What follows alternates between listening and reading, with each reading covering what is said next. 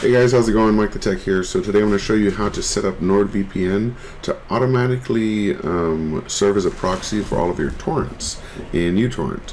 So what we're going to do is first need to make sure that you have a NordVPN account, obviously, because you're going to need to log in with your credentials. And then you're going to go to your NordVPN um, server tools, which will let you choose servers. Um, I'll put a link to this in the description, but it's just nordvpn.com slash servers slash tools. Um, now we're going to go ahead and go to our uTorrent and go to um, options and then go to preferences. Now under preferences, you're going to see connection and we want to use a proxy server. Hey, relax. We want to use a proxy server. And the type of proxy server we're going to use is a SOCKS 5 proxy.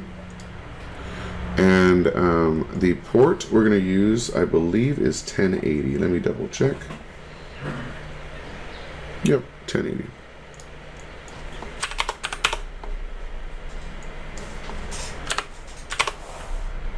And then it does need authentication. So you're going to type in your email address and password. And you also need um, the proxy server address. Now this is where you need the server tools.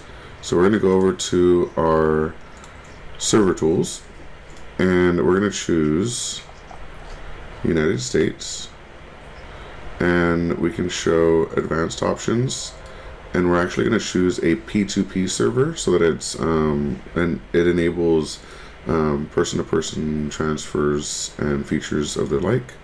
We're going to choose SOCKS 5 and then it will recommend the best server that is in your area, supports um, P2P downloads, and is in SOCKS 5. So we're going to copy this um, whole address right here. Go over to uTorrent and paste this in.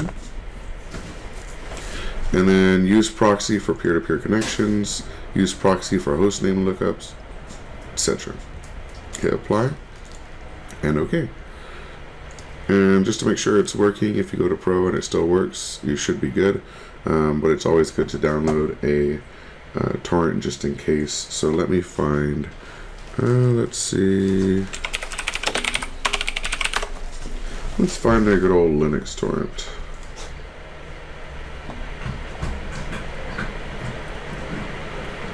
So we're going to get Linux Ubuntu 19.10 and we're going to open that in uTorrent. That's fine. And as long as it connects, you should be good. You're running through your um, proxy. And you can see right here that it says US 4066 that NordVPN has my um, name and password. If you turn off authentication and apply, um, this will stop.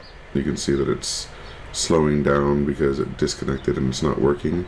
But if I add authentication again and hit apply, um, it should start reconnecting to all of the uh, peers and then start working again. Yep, and the speed's going right back up.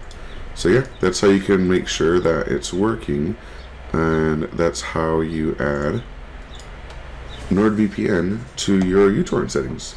Let me know if you have any questions in the comment section below and thank you so much for watching. Have a great day. Peace.